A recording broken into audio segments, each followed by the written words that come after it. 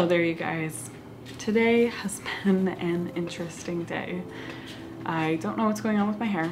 My skin has been really bad and my apartment just feels off, right? Yeah, the energy's just not right. I know, baby, yeah. so today I figured I would take you all along with me while I kind of attempted to do something about it. And this will be the first time I get to try out this new um, vloggy crafty format with you all. Um, I have started a few videos on it so far and they are so much fun to make, but this will be the first one that I'll make that will be coming out for you all. Or the first one that you all will see. I think that made sense. But anywho, today I thought we'd conquer that issue that I'm having with the uh, apartment. and maybe first, hi although apparently I'm needed here first. Hi, Nubby. Okay, hello, sorry, there was a uh, Hazel intermission there. And another. Anywho, as I said before, the energy of my space has just been feeling really cloudy and clogged and stagnant and just it's not productive anymore. And as I've said in many videos over the last couple of months, I've noticed that this happens a lot quicker in the city, which is no big deal, but I am always kind of on the hunt for a new way to cleanse a space. And I've done a couple videos on this in the past. I've found some methods that help to keep it uh, nice for longer, but doing that one big overall cleansing of the entire space has been kind of challenging for me to figure out. Ideally, I like to use smoke cleanses, and that's what I've used in all the years past. My favorite has always been to use cedar and just burn it in the space, but being in an apartment, I feel like that is sometimes a little bit rude for all the other people around me, and so I only tend to use that to cleanse areas before spell working, something that's much smaller scale than the entire room. And so I figured I'd kind of dip back into the past a bit and try to use something like an herbal spray. Herbal sprays, or in this case a cleansing spray, is something that I've made a couple of times in my history and I've made once or twice here on this channel, though it's always been kind of combined with other ideas. However, today I figured I'd put far more focus onto them. Herbal sprays are a really versatile way of infusing uh, energy into a space. And as I'm going to focus on cleansing today, that's what I'll be sharing with you and figuring out with you. But you could also use them to put sleep energy or loving energy or calming energy into a space. And today I want to test out two ways of doing it. One I've done in the past, but I'm not super keen on doing again. And the other is one I haven't done before, but I imagine will be just as successful, if not more. So the first way I plan to go about it is uh, using essential oils. Essential oils are not always my favorite way to work with herbs. I tend to feel kind of disconnected from them and often they can be kind of challenging to work with. Sometimes they're toxic for animals and they are just, there's a lot of precautions that have to go into working with them that I don't particularly love, especially because I'm not very well versed in them. I did some research before sitting down to film this video and get to work on it on which ones were safe for dogs, but I found a lot of conflicting information and I'm not really sure what to trust. So I have done my best guess on ones that will be okay, but I'm not 100% sure and probably won't end up using that spray in this space. I'll probably just gift it to somebody else. If any of you have a resource on safe essential oils to use with dogs and other pets, I would really love to hear about it in the comments. It would be really helpful and uh, yeah, then I can kind of help more with sharing this stuff in the future. The other way I want to go about this is to make an herbal infusion, kind of like a tea with lots of different herbs, and just use this infusion to cleanse the space. I think this way will be much safer for my sweet hazel as it's not as concentrated and I am hopeful that it will be just as effective, if not more. So let's jump into the ingredients I've chosen. Okay, I made the mistake of moving the camera once, so now I think I will just leave it here um, and come back for my talking check-ins right here. But anywho, for both iterations of this cleansing spray, I'm going to be using the same ingredients, just one done with essential oils and the other done with, well, herbs. And so what I've chosen to work with is lemon, rose, and lavender. It's very rare for me to create a cleansing or purifying something without using lemon. It's one of the most effective in my opinion and also one of the most accessible ingredients for these kinds of spells. And for this one I intend on mainly using the peel. Then for the other two ingredients, something that I've found through my years of doing this is that once you've used a cleansing element, there is kind of this empty space and while it can be just left empty, I find it's best to work and fill it with something that you wish to, an energy that you wish to.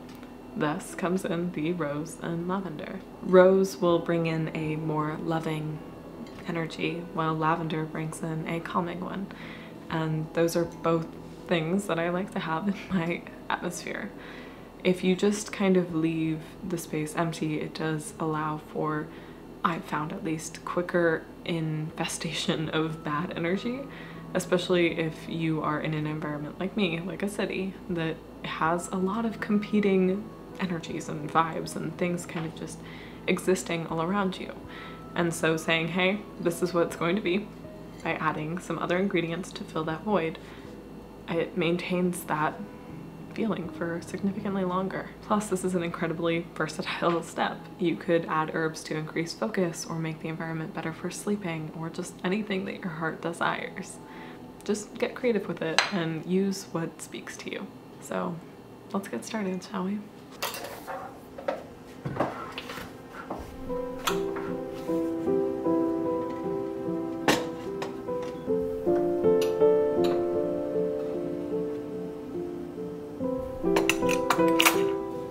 Alrighty, so here's the plan. First, I think I'm going to fill up the essential oils bottle with, well, the oils and some water while I wait for the water over here to boil for the infusion.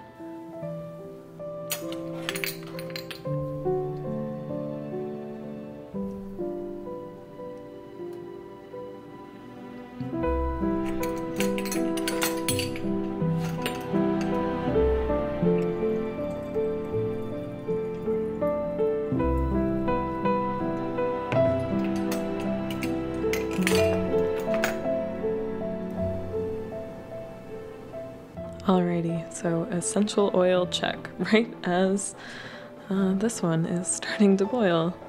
Perfect timing. I'll go over what I did with this one at the end. But first, let's start on this one.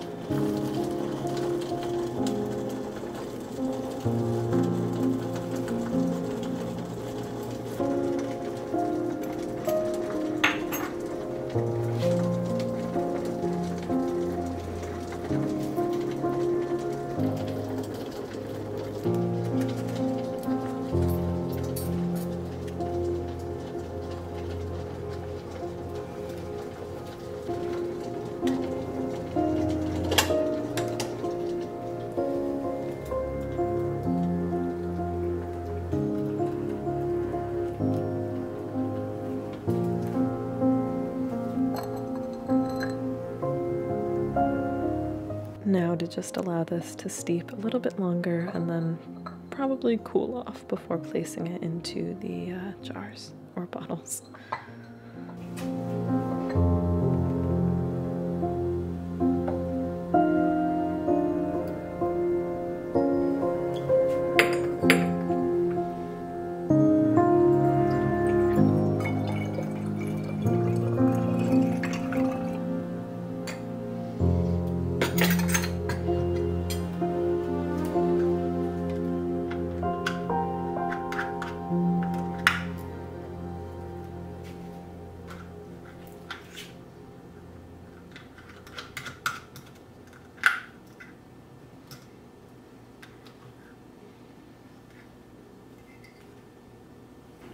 Here they are, complete.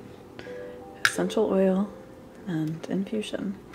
This one has a few uh, particulates inside of it, but that's okay. It'll help to uh, tell the difference.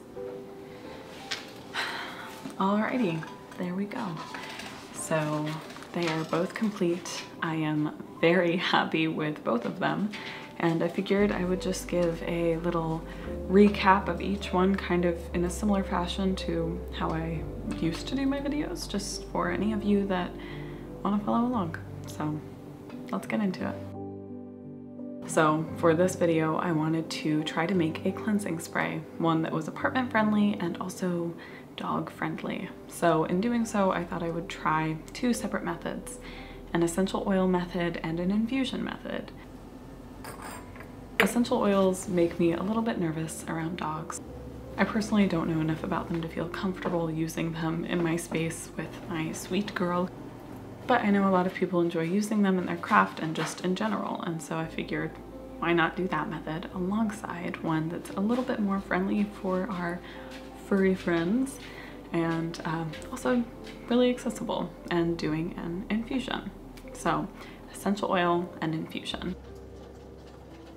Prior to this, I had never tried making a magical spray with just an infusion, and so this was a really fun experiment. For each, I used the same ingredients, lemon, rose, and lavender. I used the lemon for its cleansing and purifying properties. This is to clear out that negativity and stagnant energy in the space. And then I use the rose and the lavender for their loving and calming properties. And I use these to kind of fill in that cleared energy area that the uh, lemon took care of. However, of course, as always, you are totally welcome to use any herbs that speak to you and ones that make the most sense for you. I touched on this earlier, but I will say it again. You don't have to just use calming and loving energies in your space. If you wish to have more sleep or uh, sweet dreams or focus, it does not have to be sleep related. uh, feel free to add herbs that apply for that or ones that feel right to you. You also are very welcome to just do a fully cleansing spray and kind of let the energy be what the energy is going to be. Alrighty, now with that said and out of the way, let's jump into how to make each, starting first with the essential oil way. Begin by adding the oils into the bottle. I added just a couple of drops each, not too much because it is very potent, and while I was doing so, I added some intention. Personally, I am a very visual person with intention. I visualize my intent moving through my body and into what I'm crafting. But for those with any other preferred form of intention working, feel free to incorporate what works best for you. And I have a whole video on that, which I will link up above and down below. Then once each of the oils have been moved into the bottles, I added in just plain old tap water. Now, if I had been living not in the city, I would probably go a little bit out of my way to get water from a natural source, but I do not have that access at the moment, so any old water will do.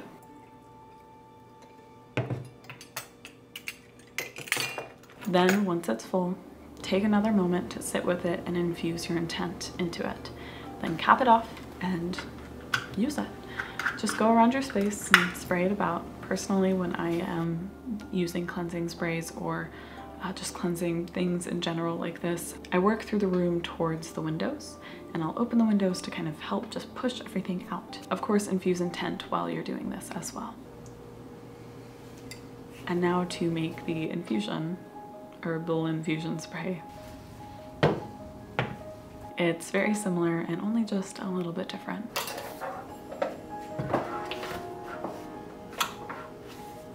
Begin by bringing some water to a boil. Then add all of your herbs to a bowl, infusing intent with each one and really focusing on what you're desiring from them.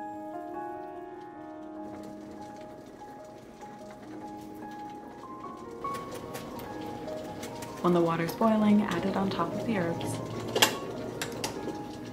Then allow the infusion to, well, infuse and cool completely before pouring it into the bottle.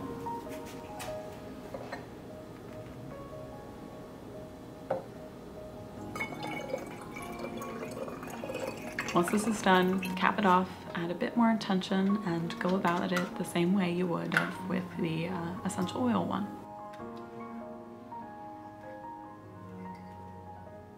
And that's pretty much it. For the essential oils, I noticed it was far more fragrant. It was a little bit easier and quicker to make, but that was really it.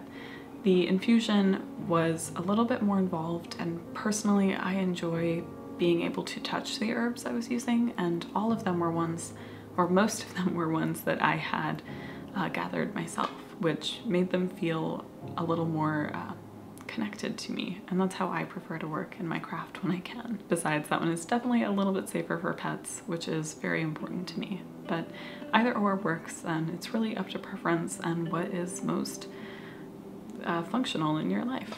So feel free to use either method, change them up and just have fun with it. I will say my apartment smells amazing and you know I started this day not feeling super great and now it just feels so much better and I'm really looking forward to sitting down and editing this video up for you all.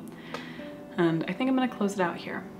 So thank you so much for watching. I hope you enjoyed this new format. Let me know what you think in the comments down below and any constructive criticisms that you do have because I want to keep growing and figuring out ways to make these videos better for you guys while still having fun. Also, if you haven't checked out my other channel, I would recommend checking it out. All of the videos there tend to be pretty vloggy, but they're very cinematic vlogs, if that makes sense. And there are sneak peeks to videos coming in certain times, and it just shows a lot more of the daily magic in my life. And also, I know it's not for everybody, but if you can and you want to help support this channel, I would really appreciate it if you checked out my Patreon. There I share my art, herbal profiles, and some other fun things, and it's a really great community. And I know I said, and I completely understand that's not for everybody, but it really is what keeps things running over here, so I am so eternally grateful for all of you that are there. So, thank you, and I will see you all soon.